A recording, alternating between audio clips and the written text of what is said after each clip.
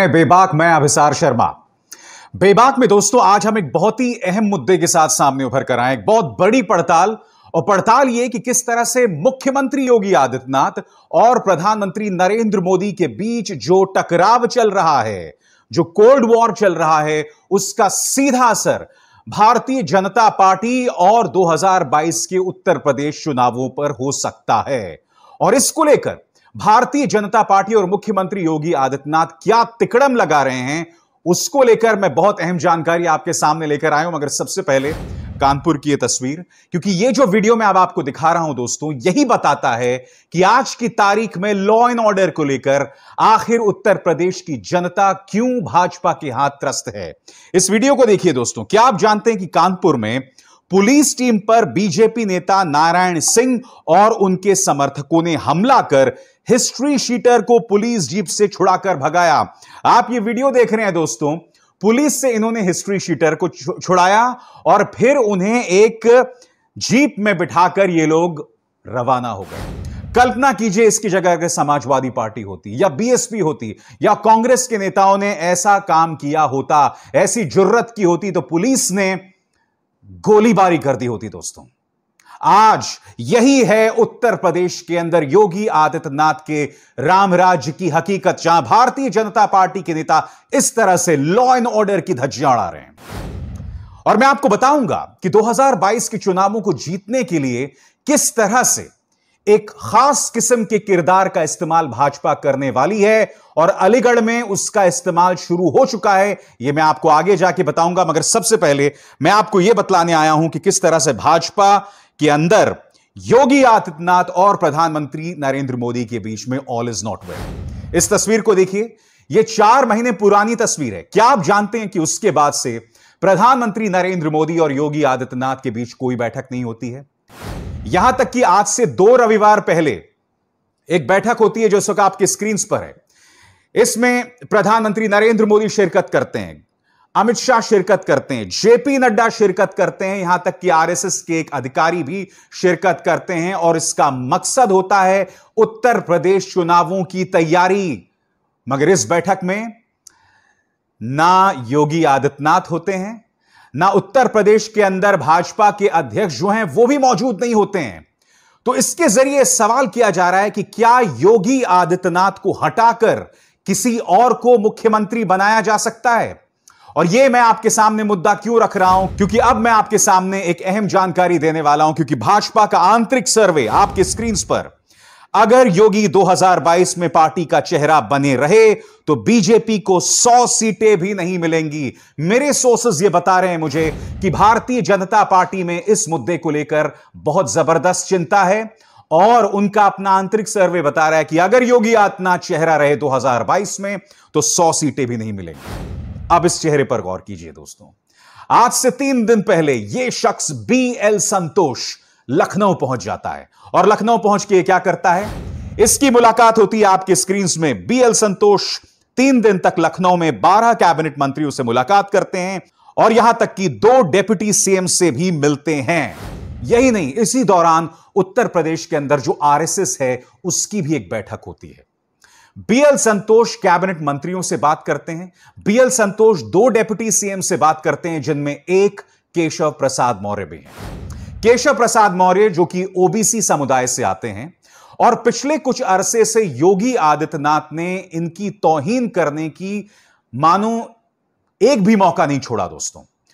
उनके डिपार्टमेंट, उनके मंत्रालय के खिलाफ जाँच बिठाना, उन्हें परेशान करना, यानी कि केशव प्रसाद मौर्य को लगातार अपमानित करने का काम योगी प्रशासन ने किया है। इस बैठक में वो भी बुलाए गए थे। और कल, अब इस तारीख पर गौर कीजिए, कल, यानी कि बुधवार को तीन बजे बीएल संतोष वापस दिल्ली आ गए। अब दिल्ली में इनकी मुलाकात इन तीन शहरों के साथ हो रही है। प्रधानमंत्री नरेंद्र मोदी गृह मंत्री अमित शाह और भाजपा अध्यक्ष जेपी नड्डा बीएल संतोष अपनी गुप्त रिपोर्ट सौंप चुके हैं इस वक्त प्रधानमंत्री नरेंद्र मोदी, जेपी नड्डा और अमित शाह को। क्या इस रिपोर्ट में इस बात की सिफारिश की गई है कि अगर योगी आदित्यनाथ को नहीं हटाया गया तो भाजपा को 2022 में 100 सीटें भी नहीं मिलेंगी। अगर आप मुझसे पूछें तो क्या भाजपा योगी आदित्यनाथ को हटा देने से उन्हें सफलता मिल जाएगी? क्या योगी आदित्यनाथ के बने रहने से भाजपा को नुकसान होगा? मैं इस बात से पूरी तरह से इत्तेफाक नहीं रखता हूँ, क्योंकि योगी आदित्यनाथ की छवि एक मिलिटेंट हिंदुत्व नेता की है। अब भाजपा का क्या धर्म संकट है मैं आपको बताता हूँ कि अगर आपने योगी आदित्यनाथ को हटा दिया तो जो उग्र हिंदुत्व का वोट बैंक है, वो भाजपा से छिटक जाएगा। यही नहीं, डर इस बात का भी है कि योगी आदित्यनाथ नाराज़ होके या तो वापस गोरखपुर चले जाएँगे, या फिर वो अपनी ही पार्टी बनाकर भाजपा के लिए मुश्किलें पैदा कर सकते हैं। भाजपा के सामने यह दोहरी चुनौती है, क्या वो योगी आदित्यनाथ को नाराज़ कर सकता है। यही वजह है कि लगातार टकराव जो है, योगी आदित्यनाथ और प्रधानमंत्री नरेंद्र मोदी के बीच बना हुआ है। दोस्तों, मगर योगी आदित्यनाथ को बार बार भाजपा का जो आला कमान है, वो ये बात ज़रूर याद दिलाता है कि आप चुने हुए मुख्यमंत्री नहीं हैं। क्योंकि जब 2017 में 2016-17 में जब चुनाव हुए थे उस दौरान योगी आदित्यनाथ का चेहरा दिखाकर भाजपा ने चुनाव नहीं लड़ा था। योगी आदित्यनाथ को जीत के बाद बनाया गया था। जी हाँ, जीत के बाद बनाया गया था, यानी योगी आदित्यनाथ कहीं ना कहीं प्रधानमंत्री नरेंद्र मोदी की पसंद हैं। अब वही योगी आदित्यनाथ जो हैं, वो प्रधानमंत्री नरेंद्र मोदी को भौहें दिखा रहे हैं, उन्हें तेवर दिखा रहे हैं।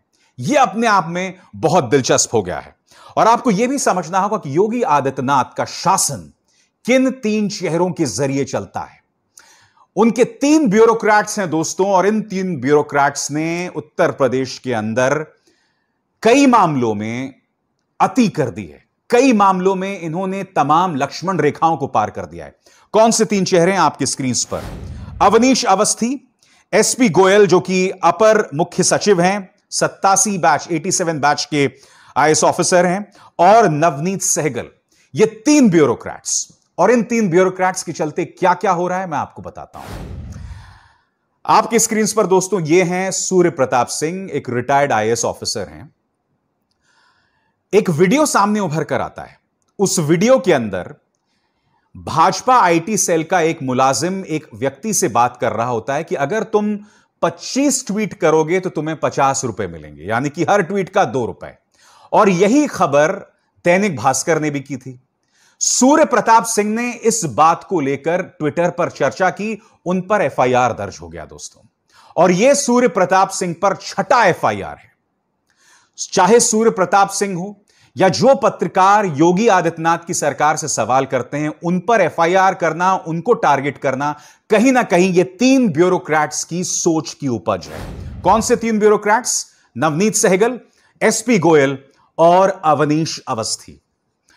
मैं उम्मीद करता हूँ दोस्तों कि अगर 2022 में भाजपा की सरकार चली गई और उनकी जगह किसी गैर भाजपा की सरकार सत्ता में आई तो मैं उम्मीद करता हूँ कि इन तीन ब्यूरोक्रेट्स पर भी कार्रवाई होगी। इनकी क्या हरकत है, ये मैं आपको आगे भी बताऊँगा।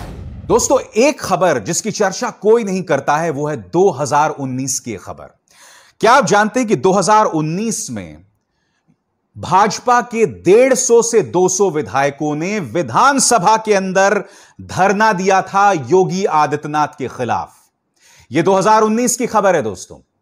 अब कल्पना कीजिए, यही हाल किसी कांग्रेस शासित राज्य में होता।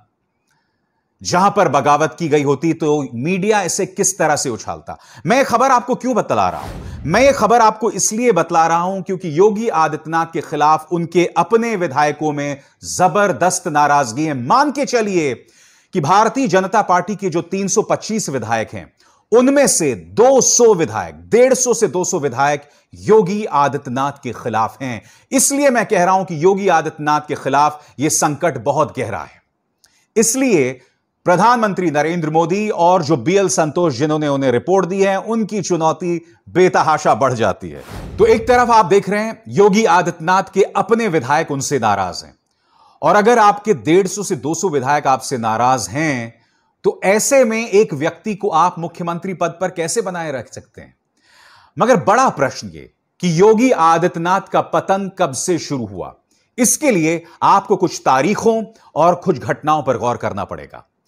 तारीख है जुलाई 2020 यह वो वक्त है दोस्तों, जब उत्तर प्रदेश का गैंगस्टर, हमारे उत्तर प्रदेश पुलिस के कम से कम सात से आठ जवानों को मौत के घाट उतार देता है और फिर वो भाग जाता है।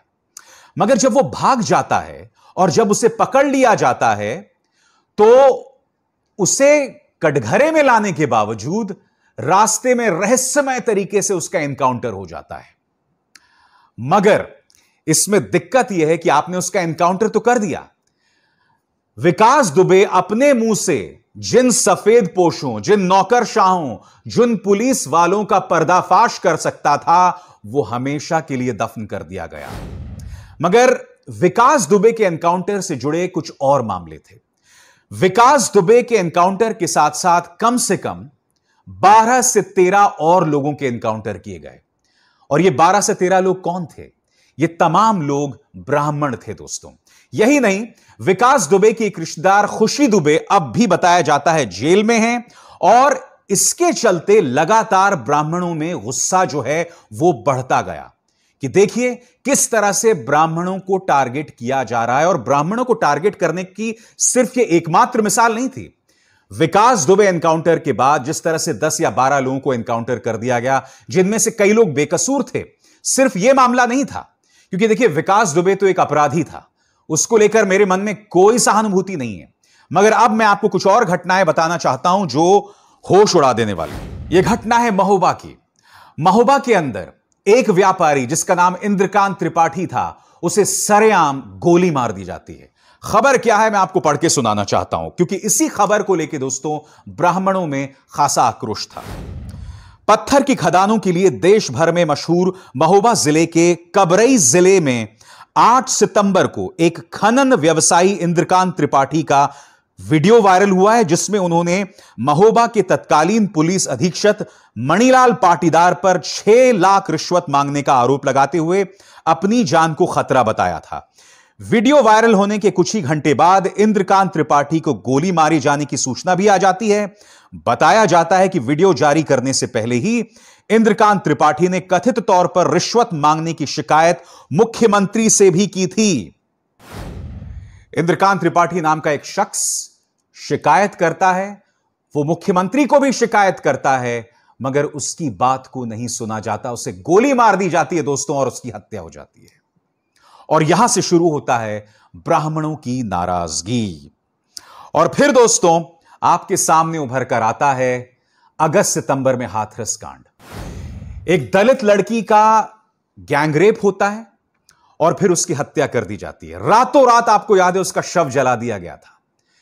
सिद्दीक कप्पन जैसा पत्रकार उसकी पड़ताल करने जाता है। आज भी सिद्दीक कप्पन जेल में बंद है और उस पर आतंकवादियों वाली धाराएँ लगा दी गई हैं। रातों रात उसका शव जला दिया गया था। जब यह मामला इलाहाबाद हाईकोर्ट में जाता है तो इनके law and order ADG Prashant Kumar कहते हैं कि बलात्कार हुआ ही नहीं।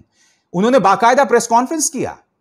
तब इलाहाबाद हाईकोर्ट इनको फटकार लगाती है, कहती है, प्रशांत कुमार से पूछती है कि अगर आपकी बेटी के साथ ऐसा हुआ होता तो क्या आप रातों रात इस तरह से शव जला देते? प्रशांत कुमार ने इसके अलावा बलात्कार पर जो बयान दिया था वो सुप्रीम कोर्ट के आदेश के भी खिलाफ था। इनका यह कहना था कि इस पूरे मामले में कहीं पर भी वीर्य या सीमन नहीं मिला है, जो अपने आप में बहुत ही भ्रामक और बहुत गलत है। उसके बाद सीबीआई की रिपोर्ट आती है दोस्तों, और सीबीआई की रिपोर्ट में यह बात साबित हो जाती है कि उस लड़की का गैंग रेप हुआ और उसके बाद उसकी हत्या कर दी गई। हाथरस में निशाने पर थी दलित लड़की। तो पहले ब्राह्मण और उसके बाद दलित। दोस्तों, आपको एक बात समझनी होगी राजनाथ सिंह भी एक ठाकुर नेता थे। योगी आदित्यनाथ भी ठाकुर हैं। मगर राजनाथ और योगी आदित्यनाथ के बीच फ़र्क क्या मैं आपको बताता हूँ? राजनाथ सिंह बेशक ठाकुर नेता थे, मगर वो ब्राह्मणों को साथ लेके चलते थे, मुसलमानों को भी साथ लेके चलते थे, दलितों को भी साथ लेके चलते थे, क्योंकि राजनाथ सिंह अटल बिहारी वाजपेयी की सोच से प्रेरित थे।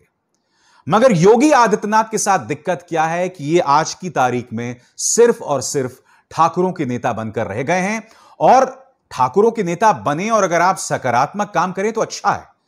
मगर आप कहीं ना कहीं एक समुदाय या जाति विशेष की जो दबंगई हैं, उसको लेकर आपने अपनी आँखों पर पट्टी डाल ली है। यह चीज़ उनके खिलाफ जा रही है। इस बात को लेकर जो अन्य जातियाँ हैं चाहे वो ओबीसी हो, ब्राह्मण हो, दलित हो, उनमें ज़बरदस्त नाराज़गी है दोस्तों। और अब मैं आपको बतलाने वाला हूँ कि किस तरह से ओबीसी समुदाय में भी बेतहाशा नाराज़गी है। यह घटना है बलिया की, और वहाँ पर एसडीएम की मौजूदगी में गडरिया समाज के एक व्यक्ति को भरी पंचायत में गोली मार दी जाती है। भरी पंचायत में दोस्तों। और वो शख्स गडरिया समुदाय का था ओबीसी समुदाय का था। अब इस घटना के बाद उस इलाके में जो ओबीसीज हैं, उनमें भी नाराज़गी है। तो ब्राह्मण नाराज़, दलित नाराज़, मुसलमान पहले से ही नाराज़ था। मुसलमान तो आपके लिए मायने भी नहीं रखते हैं। इसके अलावा, जैसा कि मैं आपको बता रहा हूँ, ओबीसी भी नाराज़। मैंने आपको कार्यक्रम की शुरुआत में बताया था यह शख्स केशव प्रसाद मौर्य, जो कि डेप्यूटी सीएम है दोस्तों, इनका लगातार अपमान किया जा रहा था। उन्हें लगातार टारगेट किया जा रहा था। और केशव प्रसाद मौर्य भी इस मामले को लेकर नाराज़ थे। उनकी जो अस्मिता को लगातार ठेस पहुंचाई जा रही थी दोस्तों, उसे लेकर खास तौर पर ओबीसी समुदाय में ज़बरदस्त रोष है। योगी आदित्यनाथ को लेकर उनके अपने विधायकों, मंत्रियों में नाराज़गी की एक और वजह है दोस्तों। उन्होंने अपने कई मंत्रियों को टारगेट किया। केशव प्रसाद मौर्य की तुम्हें बात, मैंने आपको बता दी। इसके अलावा इनके एक और मंत्री थे जो कि इनके बहुत खास थे, सिद्धार्थनाथ सिंह। उनसे स्वास्थ्य मंत्रालय छीनकर उन्हें एमएसएमई दे दी गई। हालाँकि इसका मैं स्वागत करता हूँ, क्योंकि पूरे गोरखपुर कांड को लेकर, जिसमें इंसेफलाइटिस की वजह से कई बच्चों की मौत हुई थी, सिद्धार्थनाथ सिंह का जो रवैया था, बहुत ही शर्मनाक था। तो योगी आदित्यनाथ इसी तरह से अपने मंत्रियों को लगातार टारगेट करते रहते हैं। तो यही वजह है कि न सिर्फ़ विधायक, बल्कि उनके अपने मंत्री भी उनसे नाराज़ चल रहे हैं। और फिर दोस्तों, दो घटनाक्रम आते हैं। पहला, किसान आंदोलन। जी हाँ किसान आंदोलन, जिसकी ज़मीन पश्चिमी उत्तर प्रदेश थी। लगातार राकेश टिकैत को निशाना बनाया जा रहा था, किसानों को निशाना बनाया जा रहा था, पीटा जा रहा था। और फिर आपको वो तस्वीर याद होगी। राकेश टिकैत रोने लगते हैं। दोस्तों कि इस एक वीडियो ने पूरी भाजपा सरकार की नींव हिला दी थी। और न सिर्फ़ उत्तर प्रदेश में योगी सरकार की, बल्कि केंद्र में मोदी सरकार की भी नींव हिला दी थी। बड़ी तादाद में किसान जो है फिर गाजीपुर बॉर्डर की तरफ़ बढ़ने लगे। राकेश टिकैत की तरफ़ बढ़ने लगे। किसानों में आक्रोश बढ़ता गया, क्योंकि किसानों को लगातार बदनाम किया जा रहा था। उन्हें खालिस्तानी बताया जा रहा था, उन्हें आतंकवादी बताया जा रहा था। और इसका परिणाम हमें कहाँ दिखा? पंचायत चुनावों में। जी हाँ पैंडेमिक के बीचों बीच इन्होंने पंचायत चुनाव करा दिए और मैं आपको बताना चाहता हूँ कि ये जो पंचायत चुनाव थे, करीब 300 सीटों पर हुए थे।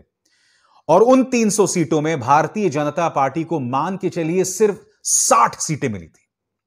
कल्पना कीजिए, किसी और राज्य में हुआ होता और किसी और पॉलिटिकल पार्टी के साथ हुआ था, कांग्रेस के साथ हुआ होता तो मीडिया इसे कितने ज़ोर शोर से दिखाता। मगर पंचायत के चुनावों को इन्होंने पूरी तरह से दबा दिया दोस्तों। तो आप देख सकते हैं, किसान आंदोलन और उसका असर दिखाई दिया हमें पंचायत चुनावों में भी।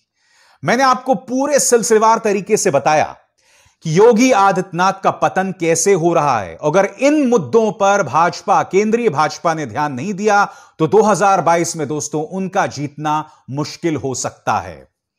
मगर क्या इसका मतलब यह हुआ कि भाजपा हार जाएगी? नहीं। उसके लिए उनके हाथ में एक बहुत बड़ा तुरुप का पत्ता है। वो है हिंदू मुस्लिम सियासत, जिसके अंतर्गत मुसलमानों को टारगेट किया जाए और राम मंदिर। इसके अलावा काशी को लेकर भी। अब राम मंदिर को लेकर भी मान के चलिए अगले सात या आठ महीनों में तापमान को बढ़ाया जाएगा। और हिंदू मुस्लिम को लेकर सियासत अभी से शुरू हो गई है। मैंने आपको कार्यक्रम की शुरुआत में बताया था, एक खास किरदार का इस्तेमाल किया जा रहा है। उसके लिए दोस्तों, मैं आपको यह खबर पढ़ के सुनाना चाहता हूँ, जो आपके स्क्रीन पर है। नूरपुर में 26 मई को एक दलित घर में दो बेटियाँ, एक साथ उनकी बारात जारी थी। आरोप है कि बारात लाते वक्त बीच में मस्जिद पड़ी। वहाँ मुस्लिम समुदाय से जुड़े कुछ लोगों ने बारातियों के साथ मारपीट शुरू की। बारातियों से कहा गया कि अगर बारात ले जाना है तो मस्जिद से पैदल ही जाना होगा, इस पर बारात लौट गई। अब इस घटना को लेकर क्या हुआ है दोस्तों? तनाव हो गया है। इस तरह की बातें भी की जा रही है कि वहाँ पर दलित बड़े पैमाने पर पलायन कर रहे हैं। मगर, इसमें आपको इस चेहरे पर गौर करना पड़ेगा जो आपकी स्क्रीन पर है। इसका नाम है दोस्तों, सैयद नाजिम अली। कौन है सैयद नाजिम अली? सैयद नाजिम अली असदुद्दीन ओवैस की party A I M I M का एक नेता है। आप मुझे सवाल का जवाब दीजिए दोस्तों, क्या ए आई एम आई एम की एक भी सीट है विधानसभा में उत्तर प्रदेश के अंदर? एक भी सीट नहीं है। उनका एक सांसद भी नहीं है। मगर ये जो नाजिम अली है, वो लगातार वहाँ पर उन दलितों को धमका रहा है। इस खबर के मुताबिक, जो कि दैनिक भास्कर की खबर, क्योंकि नाजिम अली ने कहा है कि हम यहाँ से बारात नहीं जाने देंगे। हम यहाँ नमाज़ तो पढ़ते रहेंगे, मगर बारात नहीं जाने देंगे। इसके चलते हो क्या रहा है दोस्तों? कि अलीगढ़ के अंदर हिंदुओं और मुस्लिमों में तनाव पैदा हो गया है। आज मैं आपसे सवाल पूछना चाहता हूँ। क्या ओवैसी अपने इस नेता के गैर जिम्मेदाराना बयान पर टिप्पणी करेंगे? क्या इस पर कार्रवाई की जाएगी? इसे आखिर किसने अधिकार दिया है? यह कहने के लिए कि मस्जिद के सामने से बारात नहीं जा सकती। यानी कि उन दलितों पर ठाकुर भी अत्याचार करें और अब नाजिम अली जैसे लोग भी अत्याचार करें, वो भी मुसलमानों के नाम पर। आज मैं आपसे सवाल पूछना चाहता हूँ कि यह नाजिम अली जो है किसके कहने पर काम कर रहा है? क्या यह बात आपको रहस्यमय नहीं लगती कि आठ महीने बचे हुए हैं और ज़मीन तैयार की जा रही है उत्तर प्रदेश के अंदर हिंदू मुस्लिम तनाव तनाव की? और अगर हिंदू मुस्लिम तनाव बढ़ता है योगी आदित्यनाथ चेहरा बने रहते हैं तो दोस्तों यकीन मानिए, भारतीय जनता पार्टी को जीतने से कोई नहीं रोक सकता। और फिर योगी आदित्यनाथ का वो कद बढ़ेगा कि उस पर मोदी जी को कंट्रोल करना बहुत मुश्किल हो जाने वाला है। मगर उत्तर प्रदेश एक बार फिर जो है, वो दफन हो जाएगा उसी तरह की हिंदू मुस्लिम सियासत में। क्योंकि दोस्तों कोरोना को लेकर, और हाँ, सबसे बड़ी घटना कोरोना को लेकर जिस तरह से प्रयागराज के तट पर शव जल रहे हैं, जिस तरह से लोगों को ऑक्सीजन नहीं मिली, जिस तरह से ऑक्सीजन मांगने पर लोगों के खिलाफ एफआईआर दर्ज हुई, उसको लेकर राज्य का मध्यम वर्गीय राज्य का गरीब जो है वो बहुत नाराज़ है। गाँव के अंदर, गाँव के अंदर दोस्तों, ये वीडियो देखिए जो आपके स्क्रीन पर है। कोरोना के किट्स को बर्बाद किया जा रहा है, तोड़ा जा रहा है, और फिर यह बताया जा रहा है कि देखो हमने गाँव के अंदर टेस्टिंग कर ली है। यह है योगी आदित्यनाथ के रामराज की असल तस्वीर। यही नहीं, इस खबर के मुताबिक, जो आपकी स्क्रीन पर है, कुछ स्कूल्स के लिए करीब नौ करोड़ निकाले गए। भोजन के नाम पर और स्टेशनरी के नाम पर। मगर क्या आप जानते हैं कि ये स्कूल्स बंद थे? इस तरह से खुला खेल फरुखाबादी चल रहा है उत्तर प्रदेश के अंदर। तो ये तमाम मुद्दे हैं जो योगी आदित्यनाथ को बहुत ज़्यादा अलोकप्रिय बना रहे हैं। मगर जैसे कि मैंने आपको बताया, जब तक नाजिम अली जैसे नेता हैं, जब तक एआईएम जैसी पार्टियाँ हैं और जब तक असदुद्दीन ओवैसी इन मुद्दों पर खामोश रहेंगे, तब तक भारतीय जनता पार्टी जो है, वो मज़बूत होती रहेगी। अब इसार शर्मा को दीजिए इजाज़त। नमस्कार।